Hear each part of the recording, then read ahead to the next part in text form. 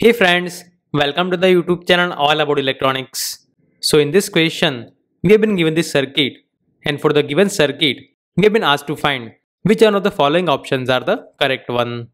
So here, basically we need to find out the power that is being absorbed or the delivered by these independent and the dependent sources. And to find that, first of all let us find this current Ix and the voltage at this node. So let's say the voltage at this node is equal to Vx. And by applying the KCL at this node, we can easily find this voltage Vx and the current Ix. So if we apply the KCL at this node, then we can say that this Vx divided by this 400 plus 200 ohm, that is this current, plus 2Ix, that is this current, that is equal to Ix, that is this incoming current. Or from this we can say that this current Ix is equal to minus Vx divided by 600 ohm.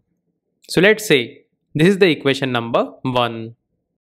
Now here if you observe, then this current Ix is equal to 40 minus this Vx divided by 500 ohm. So if we put this value of current Ix in the first equation, then we can write it as this 40 minus Vx divided by 500 ohm that is equal to minus Vx divided by 600 ohm. So here on the both sides, these two zeros will get cancel out. And further we can write it as this 6 times this 40 minus Vx that is equal to minus 5 times Vx.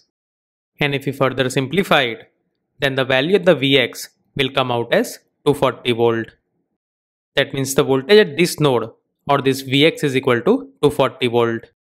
And now by putting the value of Vx in the first equation, we can easily find the current Ix. That means this current Ix is equal to minus Vx divided by 600 ohm or that is equal to minus 240 volt divided by 600 ohm that is equal to minus 0.4 ampere. That means this current Ix is equal to minus 0.4 ampere. So here, since the sign of this current is negative, it means that this current Ix is flowing in the reverse direction. That means here, for this 40 volt independent source, this 0.4 ampere current is flowing into this positive terminal. Now if you are aware, then for any independent or the dependent voltage source, if the current is going away from this positive terminal, it means that the source is supplying or the delivering the power. But on the other hand, if the current is flowing into the positive terminal, it means that it is the absorbing the power. So in this case, since this 0.4 ampere current or this Ix is entering into this positive terminal, it means that this 40 volt source is absorbing the power. And the absorbed power is equal to 40 volt times 0.4 ampere that is equal to 16 watt. It means that this 40 volt voltage source is absorbing the power of 16 watt. Similarly, let us find out the absorbed or the delivered power for this dependent source. So here, the value of this dependent source is equal to 2ix. And here, since the ix is equal to minus 0.4 ampere, so we can say that this current is flowing in the reverse direction.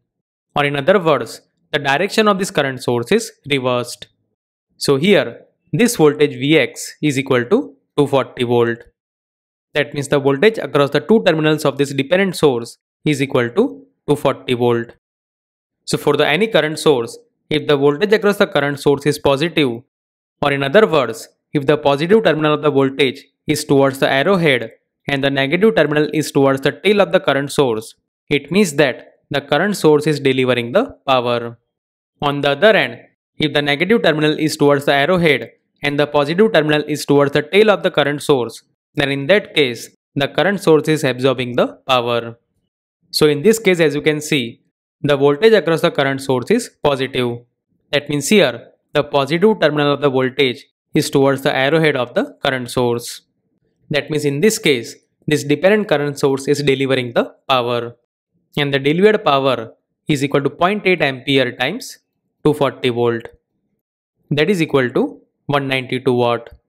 So here, this independent current source is absorbing the power of 16 watt while this dependent current source is delivering the power of 192 watt. That means here for the given circuit, If you see the four options, then out of the four options, only this option A is the correct answer.